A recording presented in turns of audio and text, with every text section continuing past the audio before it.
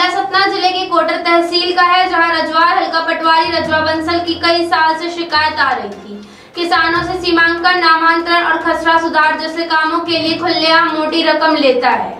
यही नहीं, गरीबी रेखा का कार्ड बनाने के नाम पर भी पाँच से छह हज़ार रुपए की घूस के रूप में लोगों से वसूल करता है। इसी बीच रजवार गाँव के एक किसान के घर मुखिया की मृत्यु होने के बाद ज़मीन का नामांतरण कराने के नाम पर अठारह हज़ार की घूस की मांग पटवारी द्वारा की गई। बताया गया कि न देने पर काम न करने की बात पटवारी द्वारा की गई।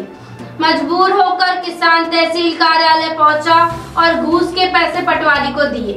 वीडियो में साफ़ देखा व सुना जा सकता है कि पटवारी ने पूर्व में बारह हज़ार किसान से ले रखे थे और दो हज़ार लेते हुए कैमरे में कैद हुए। बाकी की रकम किसान कर्ज लेकर पटवारी को देने का आश्वासन दे रहा। अब देखना होगा ऐसे घूसखोर पटवारी रजवा बंसल पर प्रशासन क्या कर उनका देने का है चार हज़ार।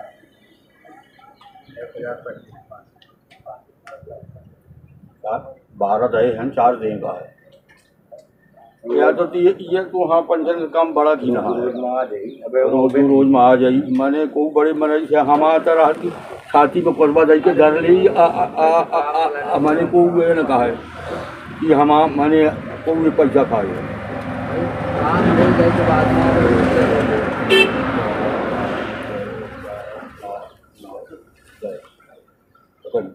तो बारह दो चौदह हज़ार। हाँ दो हज़ार। दो हज़ार हमें काबू देने का है।